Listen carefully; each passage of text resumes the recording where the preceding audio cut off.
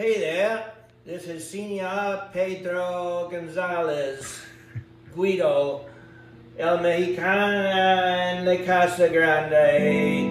Now, it's Mr. Potato Head Guitar now from Mexico.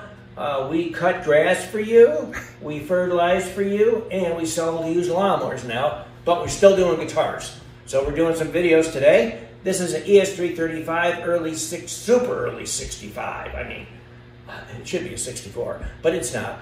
And uh, it's super clean, man. I mean, like, like perfect. And it's a great bargain, and you got to have it. So that's it. So let's see what we can do here. Chop, chop.